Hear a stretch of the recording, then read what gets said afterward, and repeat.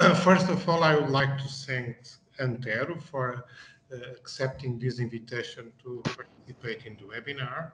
I have to say that uh, I have a long uh, collaboration uh, with Antero, and which is active in the field of radiopharmaceuticals uh, design and preclinical evaluation studies. So Antero uh, is, has a degree in biochemistry from the University of Coimbra in Portugal, as you all know. It's the, one of the oldest universities in Europe. Then he made the PhD uh, under the supervision of Professor Terry Jones, already thinking to have one with background to start running the cyclotron that was installed thereafter in Coimbra. And exactly now, it was a successful story in the sense that uh, Antero is now the director of ICNAS.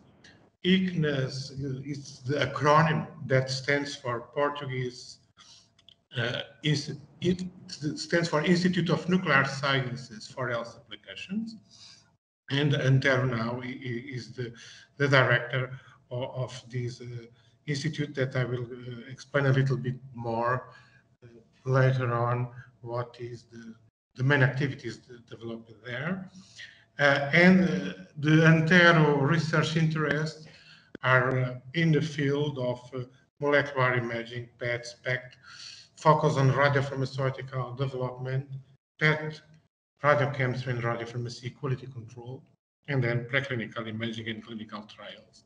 So as you, as you can imagine, it's really a multidisciplinary and exciting field with it's, it's uh, a science with evident applications in health and impacting society. And related with that, uh, Antero promoted the start of three spin-offs companies from the University of Coimbra that are involved in the TARC3, one of them, uh, for, for the production of uh, radioactive metals and he holds uh, several patents in this topic. So, ICNAS is the main producer in Portugal of radiopharmaceuticals, or we can say the unique producers. There is a cyclotron facility installed there. Uh, they have also uh, cameras installed to make also clinical work. And nowadays, besides the production of radiopharmaceuticals and the research and development activities in the field. I think ICNAS is also involved in 30, more than 30 clinical trials in support of the development of uh, uh, drugs, not radioactive drugs, using the radioactive, as you will explain, radioactive compounds to foster, to speed up the development of, uh, of pharmaceuticals. So I think in this uh, uh, presentation and there will then, I believe, will make an, an overview of the know-how expertise himself and ICNAS uh, in the field with the, the, the presentation entitled Molecular Imaging and Translational Research from Molecules to Man. So, Antero, please, the floor is yours. Go ahead. Thank you very much, Antonio, for the kind presentation. As Antonio mentioned, uh, we are friends and collaborators of many years. And uh, Antonio is not officially part of uh, but is a big supporter and main collaborator from the beginning. So it's a pleasure for me to be here. Thank you very much for the invitation. And uh, I'll try to share my screen. Okay, my idea today, and we can make this as interactive as, as you wish, okay, is to give you an overview of how molecular imaging can be used as a tool to translate from basic fundamental science to clinical application. Actually, I will try to explain that from my point of view, molecular imaging is the tool for translational research. And this is why we think this whole um, field is the most exciting and uh, uh, for sure one of the uh, the ones with uh, with the most promising future because we think that this could really change the way we do science and you can interrupt anytime and we can make these, um, you know, if you want to focus on any specific aspect. Uh, I was telling the, the colleagues yesterday I could give this talk for half an hour or for five hours and they prefer half an hour, that's fine. Uh, but if there is any specific topic you want to discuss, I'm very willing to, to, focus on that. Anyway, um, as, as Antonio was saying, Coimbra is the ancient capital of Portugal, the first one. Uh, our first uh, five kings were born here. And when they moved to Lisbon, there was an empty castle here in Coimbra. So they said, well, let's start the university. That was in 1290, okay? So the university is more than 700 years old. It's a beautiful city. It's a World Heritage Site if you have the chance, you can uh, come, discuss science, and uh, enjoy some uh, um, Portuguese hospitality, if you wish. Anyway, um, so we do three things from uh, uh, molecules to men, as I say in my presentation. So we have a strong chemistry group that uh, basically focus on producing and developing radiopharmaceuticals. And uh, this is the field that we have a strong collaboration with Antonio's group that is uh, that has been working in this field for many, many years than, than we have. So we have, they have great experience. It's a fantastic group. Uh, so we have chemistry, then we have preclinical studies with uh, uh, PET, MR, photoacoustic tomography, optical imaging, fluorescence, bioluminescence, etc. And then we have the clinical part in which we have two PET CT scanners and three Tesla MRI and uh, a strong, very strong collaboration with industry in the drug developing process. So, so not just developing radiopharmaceuticals, actually supporting the, the, the industry in developing new drugs. As uh, Antonio was mentioning, we're currently participating in 35 clinical trials with the industry.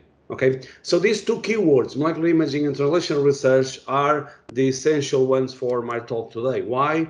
Because um, in the biomedical research field, okay, you really have two completely opposite sides. Okay, it looks like we are, I don't know, from different worlds. On one side, you have what we call the basic um, laboratory researchers, you know, chemists, biochemists, uh, biologists that work with animal models, they work with tissues, they work with cells, they work with immobilized proteins, and they are looking at um, the mechanisms, the fundamental, the underlying mechanisms of disease.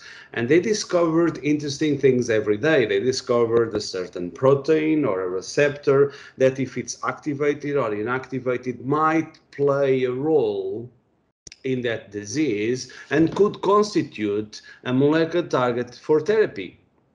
And they wonder, okay, they publish very nice paper, and they wonder if that will one day be used across the pond in the in the in the clinical field. And in the clinical field, clinical field you have clinicians they look at patients they look at uh, uh, lots of data. And actually they are big consumers of and producers of big data okay? And they are looking at all this data that they collect from the patients and they try to relate that with the, the papers they read from the basic fundamental scientists that are publishing.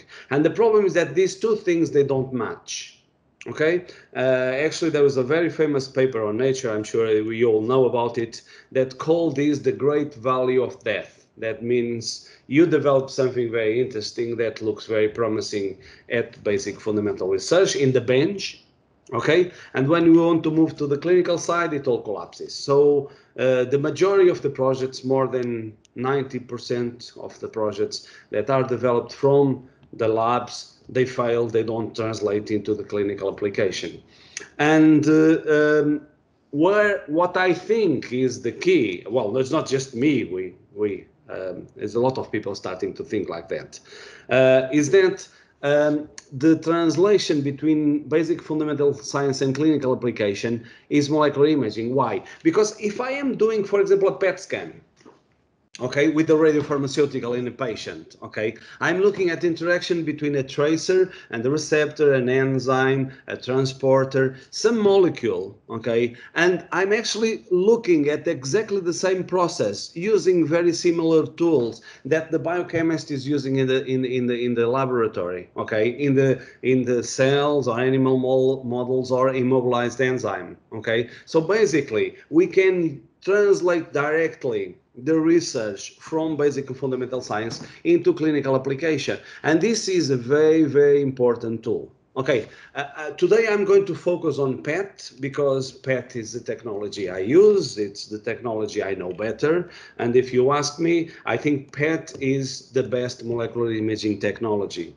Is it the only one? No, of course not. Okay, MRI has improved dramatically in recent years, and of course you have variations of MRI that are functional, like for example MRS, like fMRI, etc. And then you, of course you have SPECT, and you have optical imaging, fluorescence and bioluminescence. And of course, we have some new technology, which recently installed here a photoacoustic tomography device. This is something that excites with a pulsated laser light and then reads out um, uh, ultrasound. So it's a mix between two technologies. All of these are like building blocks okay, for this bridge between basic fundamental science and clinical application. So molecular imaging is the key, is the ultimate translational tool, okay? Now, all the, these technologies I've been talking about, PET, SPECT, MR, etc., okay, CT, uh, ecography, they uh, all provide different sources of information. Depends on what you want to see. If you want to see structure, then you CT, MRI, or ultrasound. If you want to look physiology, then uh, PET, SPECT, and MRS are more interesting, etc. But if you really want to define details, the molecular interactions that are the subject of study in the bench, then you need PET. Sometimes you can get away with SPECT, but most of the time you need PET. Now, techniques have advantages and disadvantages. I'm sorry, I, am giving the basics, okay? I, am pretty sure you all know these, but I don't mind starting the story from the beginning. Okay, so um, uh, anatomical uh, imaging has better spatial resolution. Our 9.4 Tesla preclinical MR is 30 micrometers spatial resolution. You cannot get that with PET okay? It's impossible. So spatial resolution is better on the on the uh, on the anatomical techniques but then sensitivity it's better on the, on the um, molecular imaging uh, radioisotopic techniques such as PET for example. In PET we can actually uh, use nano to picomolar that's 10 to the minus 9 to 10 to the minus 12 molar of our tracer to be able to get an image. So we are extremely sensitive. And because of that, then the pharmaceutical industry, recognizing that, has created a new phase in the developing of a new drug. So we all know about preclinical development and then phase clinical trials, phase one, two, three. With the vaccine, it's clinical trials everywhere. Everybody is an expert on clinical trials everywhere. What you don't hear about is uh, that there is a new phase between preclinical development and clinical trials, and it's called phase zero. Okay, what is phase zero? Phase zero, as defined by the pharmacy uh, regulators, is a, uh, access to human studies with a very low amount of their compounds. They say that to be called a microdosing study, the maximum you can inject in a patient is 1% of the expected therapeutic dose. Well, as I mentioned before, in PET, we use nano to picomolar. So we're not at 1%. We are 0.0000001%. Okay. So um, radiopharmaceuticals are perfect for this concept of microdosing. And actually, the new clinical trial regulations that are coming into force probably this year, early next year in Europe, will actually exempt diagnostic radiopharmaceuticals for most of the requirements that you need to start the clinical trial because of these microdosing uh, studies. And what can you get from it? Well, you can get a lot. Let's imagine that you have a tracer that was very promising in the preclinical development and you want to know if this will work in men. Then you can use it as a radiopharmaceutical, you radio label you put into man and you get the basic pharmacokinetic parameters. Does it cross the relevant barriers, for example, the blood-brain barrier?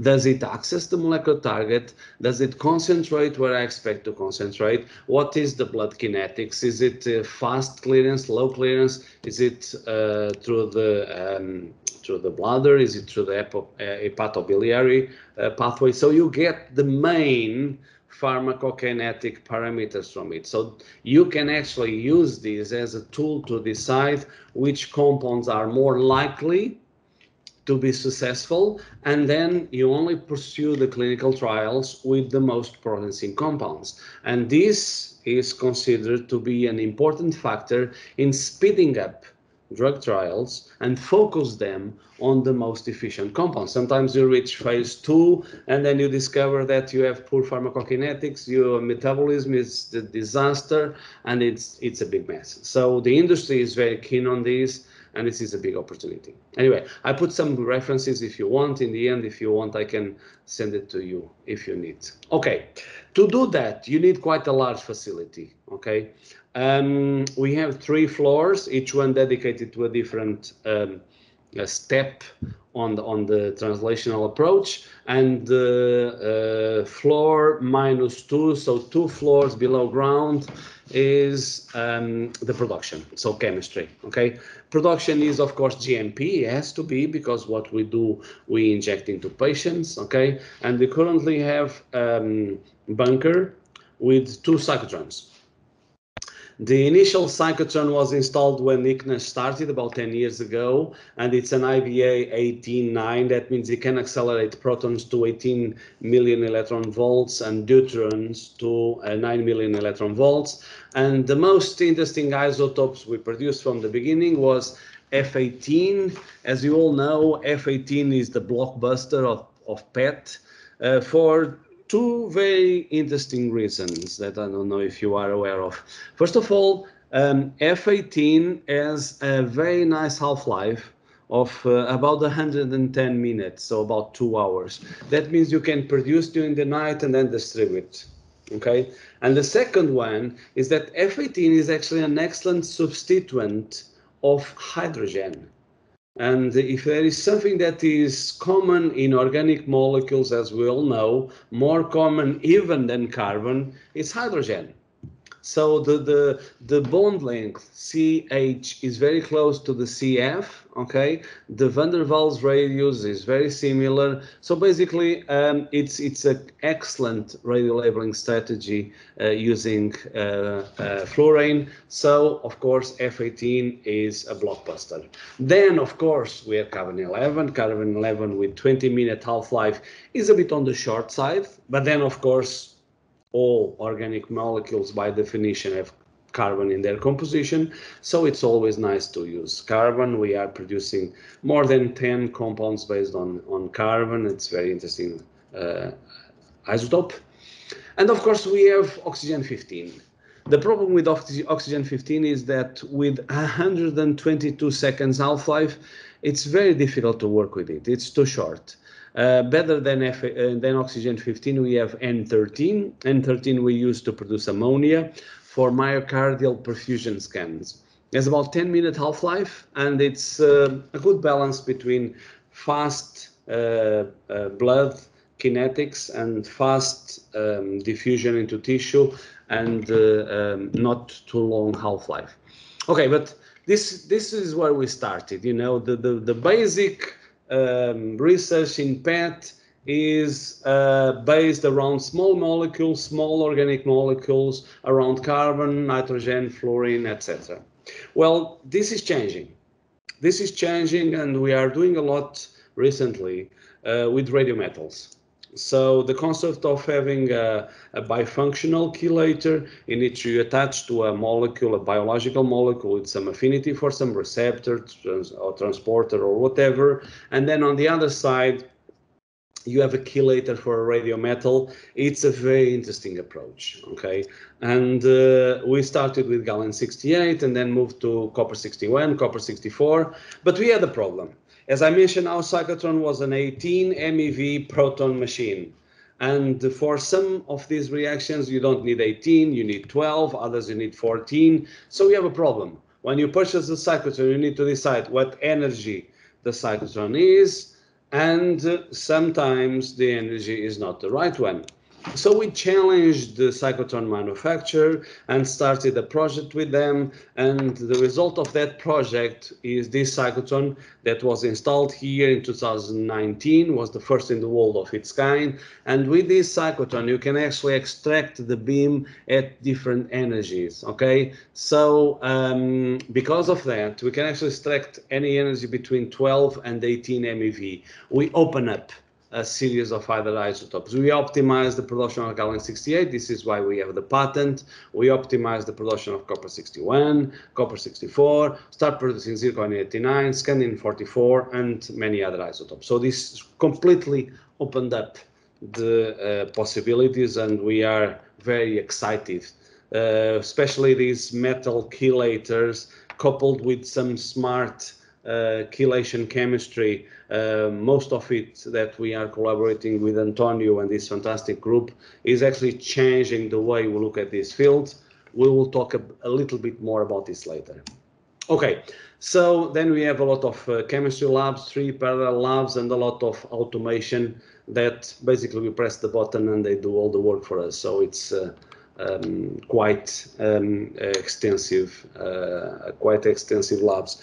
Uh, we also have, of course, QC and sterility, etc., the normal stuff. Anyway, one floor up, we have the clinical imaging. For the clinical imaging, as I mentioned, we have two PET-CT scanners, and we also have lab laboratories for cell culture biodistribution, and we are working on specific um, scanners developed by our team. For example, a, a typical uh, clinical scanner will have like uh, five, six millimeter resolution. We just finished a tender to purchase a brand new digital PET uh, system as a spatial resolution of about three millimeters, but uh, we think that's not enough. So we are working on a high resolution brain PET system that will achieve sub-millimeter resolution. So the idea is to look at uh, uh, even more detailed processes in the human brain. So we're also quite excited about it and uh, um, we'll should have results by the end of this year if everything, everything goes okay. So, okay, the clinical imaging is GCP certified, so good clinical practices. And uh, last but not least, the preclinical research um, is GLP uh, certified, of course, also. Uh, also on the preclinical, we have a 9.4 Tesla MR machine for rats and mice, uh, but we also work on developing of new systems, and this is a high resolution small animal brain PET with 0.3 millimeter resolution. This is a scan with raclopride. This is a dopaminergic D2 antagonist and what you're seeing that it's a striatum of a mouse, okay, superimposed on a mouse MR. Okay, so uh, in the human side we do PET CT, on the animal side we do PET MR. It's better suited for small animals. Anyway, um, talking about a bit about the basics. Okay, this is the basic fundamentals of medical imaging. Again, I apologize for saying what everybody knows, but I think it's nice to touch base, if you allow me. Okay, so molecular imaging is an approach in which we start with a question. It can be a clinical question. For example, a clinician in an hospital comes to us and say, I want to diagnose this pathology that I don't have any other way to do it. Or it can be a research question. It can be, I think that this specific mechanism is involved in this disease, and I want um, uh, an imaging biomarker that can prove or disprove my theory. Okay, from that we answer with a molecule, okay? And then we need to answer three questions. What is your molecular target?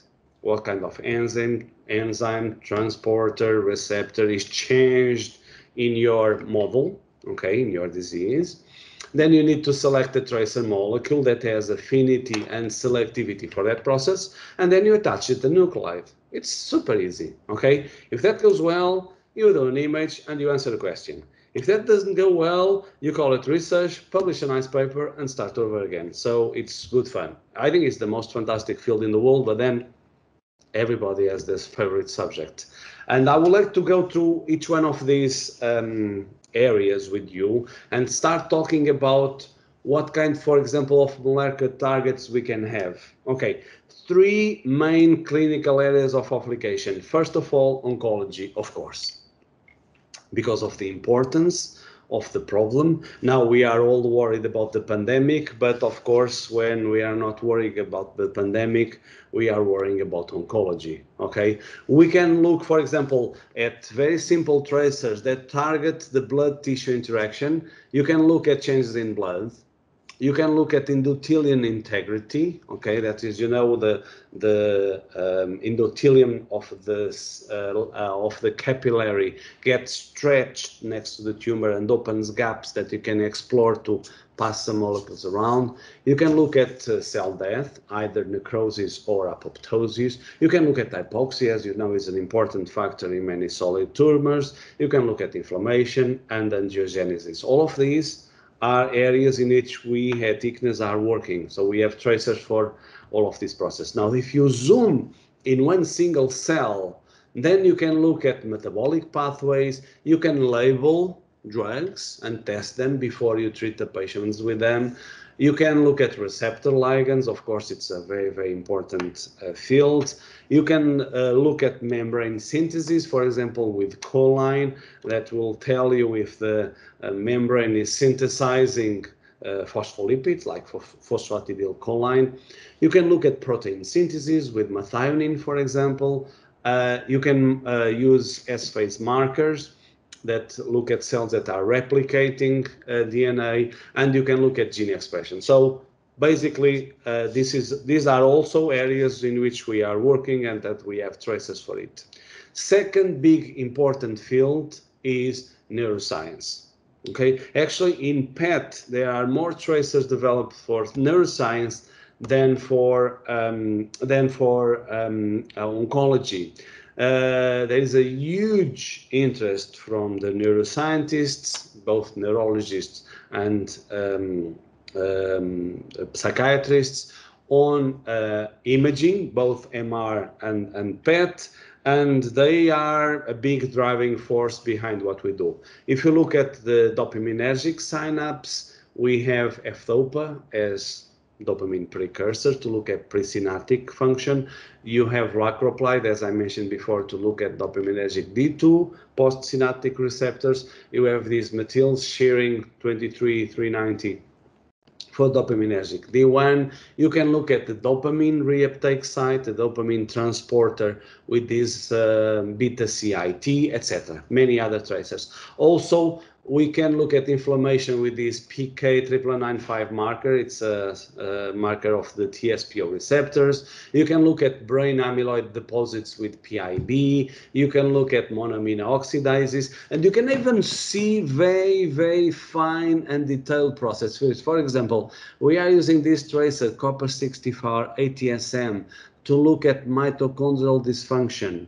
Okay, that results from uh, oxidative stress that happens in the beginning of the um, neurodegenerative uh, diseases. So in the beginning of Parkinson, in beginning of Alzheimer, in beginning of Huntington's, you start to have cells that are in stress that created excess of reactive um, species, uh, free radicals, and, and as a consequence of that, you have a mitochondrial dysfunction and uh, you can look at that with, with these stressors, the copper ATSM. So we are really looking at the beginning, okay, of, of uh, neurodegenerative disease. Of course, if you want to develop, for example, um, um, uh, um, uh, a drug that will target these early processes, then you can use these tools to evaluate it.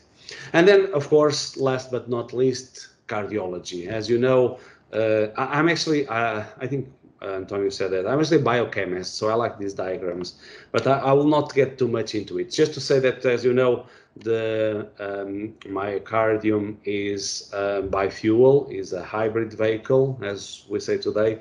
It can work with the glucose, it can work with fatty acids, and we can do image both ways. And actually, to stop the big discussion, okay, at which fed state the patient is, that is a big discussion between um, technologists and doctors all the time when we do cardiology.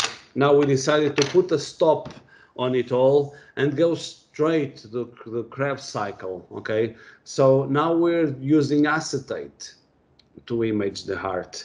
That is irrespectively if the patient uh, is in fed or fast state, we don't care. We go straight to the Krebs cycle and see metabolism directly looking at acetyl coenzyme A. So, okay, this is uh, what we're doing at the moment. Of course, cardiology is two sides. You have the heart and last but not least, you have the cardiovascular component, okay? And in the cardiovascular component, you can look at the vulnerability of the plaque. We are publishing um, a lot in this field using a very simple tracer. Actually, it's the oldest PET tracer. It's sodium fluoride. It's actually, we call it the juice from the cyclotron, okay? It basically comes straight from the cyclotron. We just do a QMA filtration, put it straight into sterile saline and go straight to the. Well, after the quality control, of course. But then not much can go wrong. And this tells you if there is an active calcification process in a certain plaque. Because one thing is to have plaque, and most of us, uh, if we have a certain age and I don't know, uh, food in Portugal is quite good, so we, we got lost sometimes at the table. Uh, everybody at a certain age will have plaque. It's a big difference to just have plaque or to have vulnerable plaque. So plaque that is unstable, that will detach and then circulate until they form somehow a block in the brain, in the heart, or in the in the lungs, as you know, and this could be a catastrophic event. Okay, so this is a very simple and very effective tool, and many others. I don't want to wait to take too much time from you. If you want to, if you are interested in ever any of these, write to me. My email is on the first page, and um, we can talk about it. Okay. So, uh, as Antonio mentioned, we are also the, the main supplier of uh, radiopharmaceuticals in Portugal. Uh, we produce during the night to distribute during the day. Uh, and uh, um, I was looking at production in the first six years. We started in 2012. And of course, we sell a lot of FDG. You know, it's like our bread and butter. Everybody uh, uses FDG, it's good for any cancer. But then um, the, the F18 is the red line we started to notice, okay, we started uh, producing um, gallium-68 Dotanoc. This is a somatostatin analog for neuroendocrine tumors. And uh, uh, this was a challenge by the local Coimbra University Hospital. And they said, well, we need to some gallium-68 because we have these um, neuroendocrine tumor patients and we want to image them. And I said, well, uh, neuroendocrine, that's a quite rare cancer. How many do you get per week? And they said, well, we get like one per week um, in the hospital. And I said, okay, I purchased a gallium generator and we started to do some scans with the somatostatin analog. And as you can see here, this is not number of patients, this is number of production cycles. Each production cycle is many patients. And you see here that in 2018, I was already doing 400 productions of Dotanoc, rare cancer, and 500 of 17 of FDG, all cancers. So it's a bit strange. And then uh, in 2015, we also start uh, labeling these uh, prostate, um, well, they call it prostate specific membrane antigen. It's not prostate specific, uh, but anyway, it's the name they gave it. It's a receptor that is overexpressed in prostate cancer in many other tissues. But anyway, we started doing imaging with them, and then as you see here, the blue uh, sky um, is rocketing, okay? And uh, I'm now producing more gallium-68 uh, productions than FDG. That is incredibly strange. So we start looking at it. Um, I don't want to make to take too much of your time because they give me 40 minutes. It's almost over. But anyway, um, we start looking at gallium-68, and gallium-68 is the worst of every possible nuclide. It has a short half-life, 68 minutes. It's not a pure positron emitter. The average beta energy is too high. That means the images are not very high quality, and it's a big mess. But anyway, the key to gallium-68 is this big buzzword, theranostics, okay? And what is this theranostics? Well, theranostics is the capacity to uh, have in the same molecule the diagnostic and the therapeutic capacity. How do you do that? Well, let's say that you take DOTANOC, for example, that I was showing the previous slide. DOTANOC, as I mentioned, is a somatostatin analog, and the, it binds to certain uh, somatostatin receptors that are overexpressed in um, uh, neuroendocrine tumors. So what I do is that I do an IC image with gallium-68 DOTANOC, and after I switch the gallium-68 positron emitter by lutetium-177. Now lutetium-177 is a beta minus emitter. Beta minus means that emits high speed electrons. So basically I use the gallium image to calibrate my therapeutics. This is why we call it theranostics, is a combination of diagnostic and therapy, okay? And basically this means that I can adapt the therapy to each patient, okay? It's linked to the idea of personalized medicine and so on. And this is, of course, being very um, source of big interest, okay? To be honest, for us working in nuclear medicine, this is nothing new. We've been doing um, uh, sorry, iodine uh, 123 and 131 since 1941. Actually, last month the iodine uh, 131 therapy made 80 years old. But anyway, um, now they call it this fancy name, theranostics. But the most important thing is that this is causing an impact in the clinical practice. The first theranostic modern uh, clinical trial done by a spin-off from CERN called uh, AAA um, was, I, I, think you can see here, the Kaplan-Meier curves showed such a big impact on late-stage neuroendocrine tumor patients that Novartis, the big pharmaceutical company,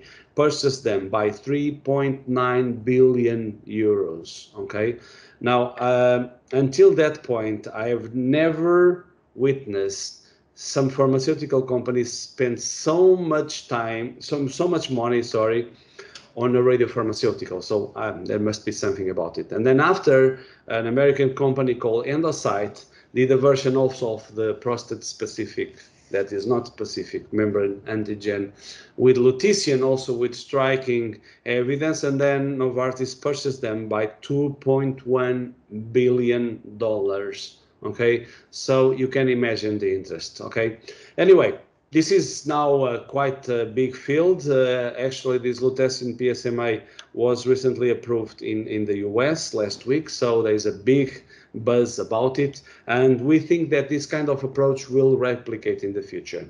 Okay, I will not take too much time with these and I will not take too much time explaining our patents on the gallium production because it's too boring and I don't have enough time. And then Antonio will kill my talk and explain. I will not also explain how we can extract different beams from a cyclotron. Uh, this is because I'm a biochemist, not a physicist, and I don't really have that much knowledge. Anyway, uh, just to show you uh, one chart, that is this one. Um, we don't think that gallium-68 is the future. We think that copper-61 is the future. And the reason for it is because of something that we never show on the scientific papers, but it's very important. That is money. Okay, so here you have some of the most common radioisotopes for PET that I talked about in my presentation. And here in the last column, you have the price. So if you like, for example, um, to produce gallium-68, then you need to pay about 1,700 euros per each gram of zinc 68. If you like copper 64, then you need to pay 31,000 euros per gram to purchase nickel 64. But we developed a process to produce copper 61 from natural zinc okay, that costs 30 cents of an euro per gram. So it's a huge difference on it, okay? So we really think that copper 61, very nice half-life, 3.3 hours, short energy range, so really, really happy about it. Anyway, this is the timeline of our production. I don't want to waste too much time about it. This is a photograph of our first box of FDG, 16th of January 2012, okay? And the big problem is that because we said to people that we will be producing during the night, we only get men. It was a very, very boring place. People just talk about football and it was not a, a pleasant place to work. Um, this is the first label. It was for Lisbon, the hospital, and um, it was uh, all the products that we produce here are from our research.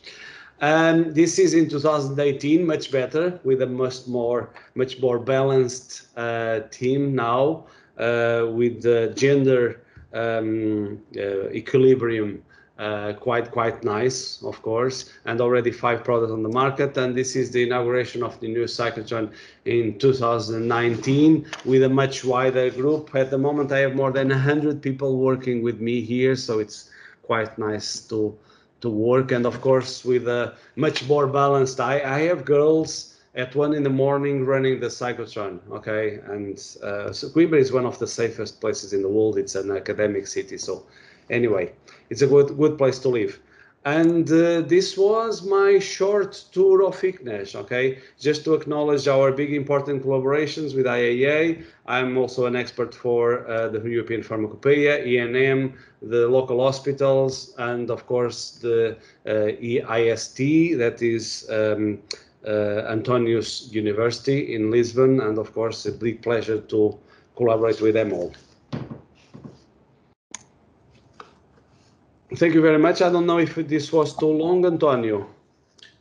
Not at all. Congratulations, Antonio. It was just in time, and I think it was a very comprehensive and excellent overview of ICNAS activities and contribution using molecular imaging modalities to develop drugs and to develop radiopharmaceuticals. I think it was what really we wanted for a, a broad audience. Congratulations again. So I think we have really time for uh, some questions. Please, anyone, feel free to pose questions to Antero.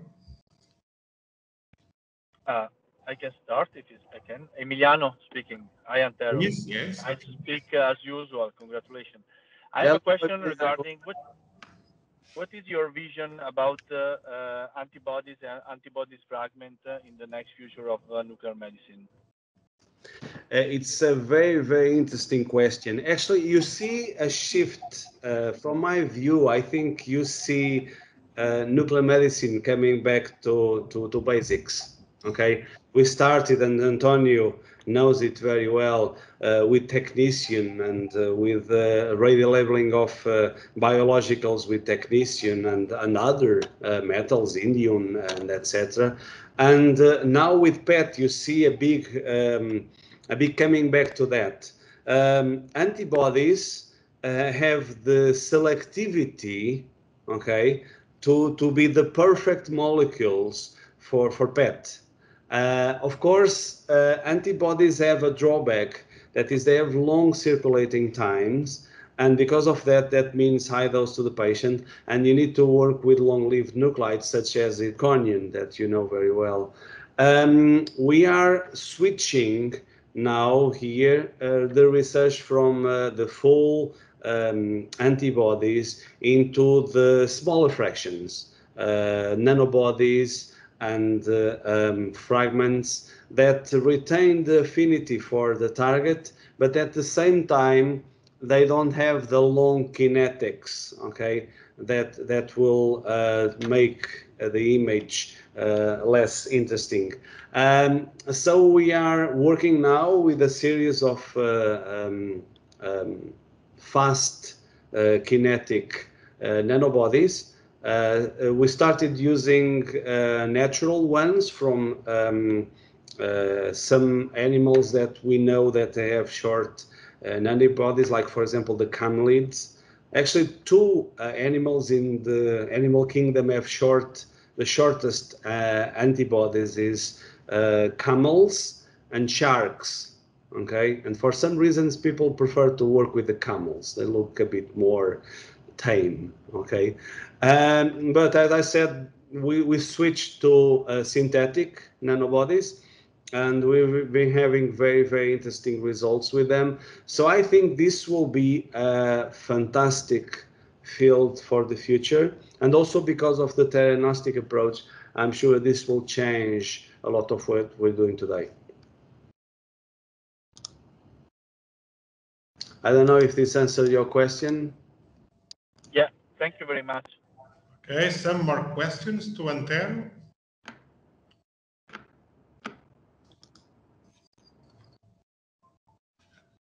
sometimes. If if not, if not, I have one. Uh, Mario from Polimi. Thank you, uh, Antonio, and thank you, Antero, for uh, your uh, very impressive presentation from a scientific point of view, and also very nice from a graphic point of view. Very, very nice. Uh, the first is a curiosity, probably uh, useful for our colleagues from cancer center and hospitals in Italy. How much does it cost, the cyclotron you have uh, since 2019? Okay, I, am not involved in the commercial part of the cyclotron, of course. Uh, we just purchased the machine. Actually, it was a research project with IBA.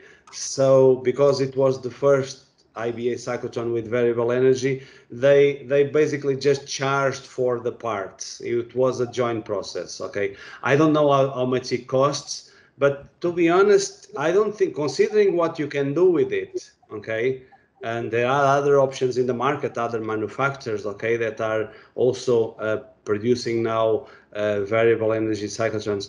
I think it's certainly worth the investment okay yes. It's, it's, a phenomenal machine and and all of these opportunity to use these um, radiopharmaceuticals to help to develop new um, uh, new drugs is huge. I'll give you an example. For example, uh, we um, we are using PIB for amyloid uh, Alzheimer's scans. Okay, and we did more than 800 PIB scans. And uh, uh, if you diagnose Alzheimer, but then you go to the patients and say, well, you have Alzheimer, but there is not much we can do. There is no cure for Alzheimer. Now there is a new therapy that, uh, incidentally, uh, it was one of our clinical trials here with with that molecule. There is a, a, a potential amyloid uh, targeting molecule that was uh, released um, a couple of weeks ago but you don't you cannot do much okay? Mm-hmm. but you can use these tools to help develop the new generation of of uh, of uh, drugs okay? So i think this is a uh, PET. It's much more important as a drug development tool Okay, I'm not saying it's not important for clinical application. Of course, we'll always be doing clinical scans, and it's it's a phenomenal technique. And for many areas uh, in oncology and cardiology and neuroscience is the gold standard. But I'm just saying it's a much more interesting tool, even more for research. Okay, and uh, uh, so in the end, uh, I, I give you an example. Our initial cyclotron, that one we purchased, was about 1.2 million euros Okay. Mm-hmm. The three Tesla MRI machine was 4 million. Yes, yes. okay. So um, if you think PET is expensive, try MRI. Okay. Honestly. Okay. So uh, I think accusing us of being expensive is is not the right way to, to place it. Okay. You need to see the value that you take out of having such a powerful tool in your hand. Okay, and the PET is a phenomenal and you see many people, for example, I did my, my PhD, as Antonio was saying, in London at the Hammersmith Hospital. And at the time, a lot of the neurologists were actually um, moving from PET to MR, you know, and they said MR is the future, better resolution. And then you see them 20 years later coming back to PET saying MR was a hoax, uh, we never know what we're looking at. PET is quantitative, PET is the reference. And now everybody's coming back. So uh, we just say, okay, welcome back, enjoy the ride, and let's go. You know, we're, we're doing fantastic things in neuroscience. For example, we, we are working with um, uh, King's College in, in, a, in a tracer that is called UCBJ, that we are looking at uh, brain synaptic density. Something that a few years ago you thought you will do with MR, but actually it turns out that uh, PET is the best technology for it. Okay, so um, I know, like the the copper ATSM I was mentioning before, looking at uh, the very beginning of neurodegenerative diseases. So actually, you are you you you really have some really very very very good tools to um, to to use. And of course, uh, these tools will make an impact in research, and you see the interest, take the industry, okay, take an interest. I mean, uh, I, I, never expected to have a major company like um, Novartis spending six billion on basic two pet research uh, companies, okay, like uh, AAA and Endocyte.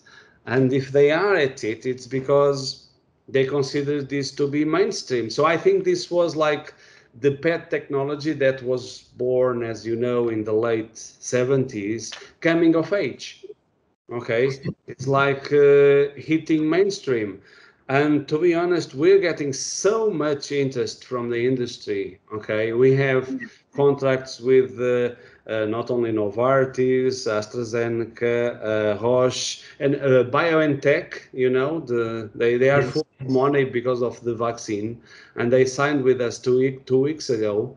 And they want to start a trial because their interest of all these uh, companies that are exploring the mRNA vaccines, their interest was never virus. The interest was oncology.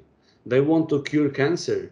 Okay, and uh, they are planning on using uh, molecular imaging to validate the, the their research. So it's really it's it's a research tool.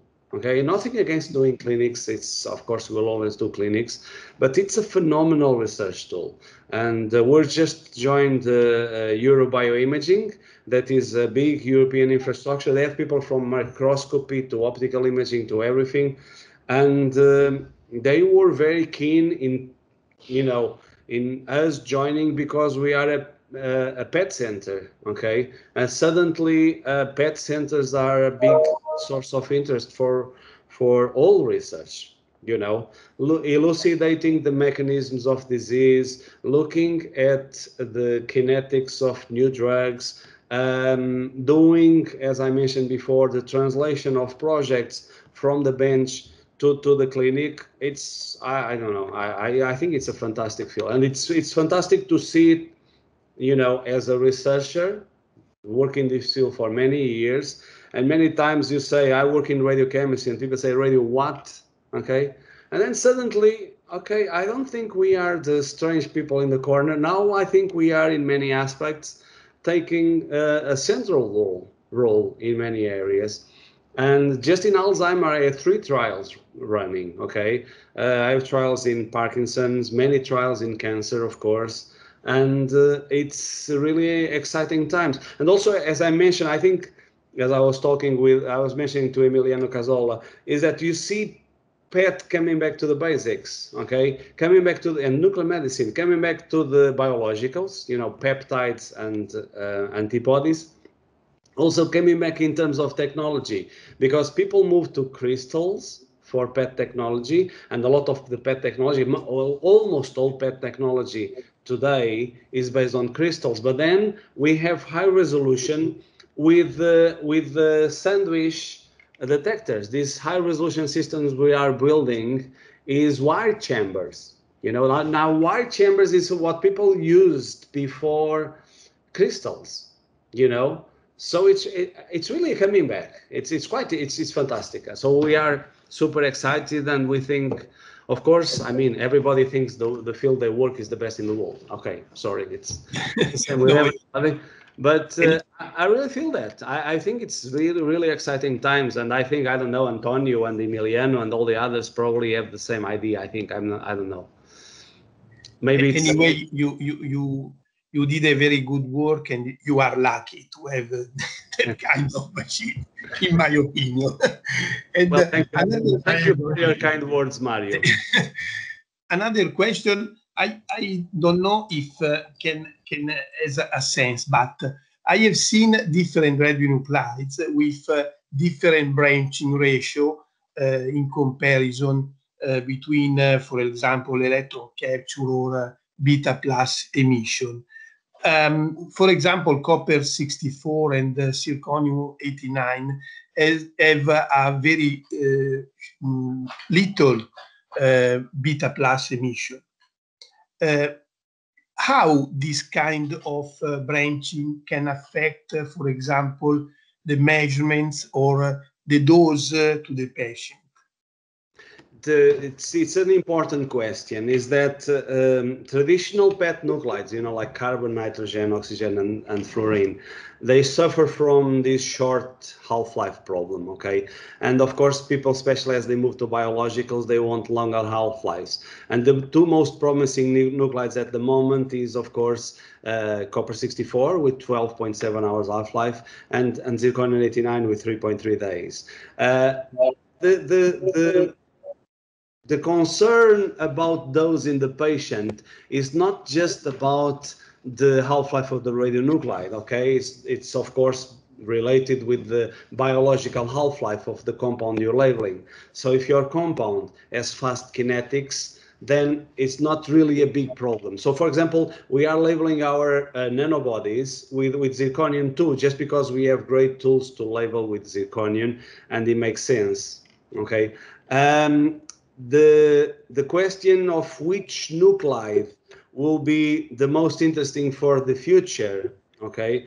Uh, it's a big question. Um, uh, there's a lot of people some big friends i have in italy that have a strong um, interest in copper 64 uh, has um, also Antonio's group. We've been working with Copper 64 for several years with, with good results. Has a nice half-life, 12.7 hours. It's only 17% positron emitter, but it's enough for what we want to see. And the dosimetry is not unfavorable, okay? This is another thing that is changing because in the past, people were thinking MR is good, no radiation, PET is bad, radiation. Well, Actually, most studies have proven that uh, small doses of radiation have little or no effect. Okay, the body is well uh, suited to handle radiation like all living beings.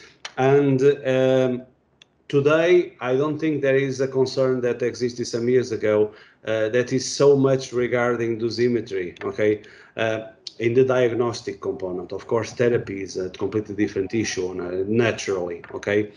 So uh, I don't think there is uh, that much of a concern. And of course, there is also the practical, the the practical, the the practicality, sorry, of uh, the longer-lived nuclides that you can produce and distribute. Okay, for example, we distribute gallium-68 tracers, and it's uh, madness because with 68 minute half-life, uh, you know, distributing to Lisbon that is two hours away, it's a challenge. You know, you we have to produce four times more to, to reach the hospitals. So having something like copper 64 or zirconium 99 will be much better in terms of the logistics. Okay. Okay. So I think thank you. Thank you. It's now 2 p.m. in Lisbon, 3 p.m. in Milan. Elena, I don't know, should we close the session now and the people can through the chat and send questions to Antero? Yes, yes, of course. Yeah, so probably we'll uh, finish now our webinar. I, I would like to thank again Antero for the very nice presentation. I think it was really a very good thing for the webinar cycles.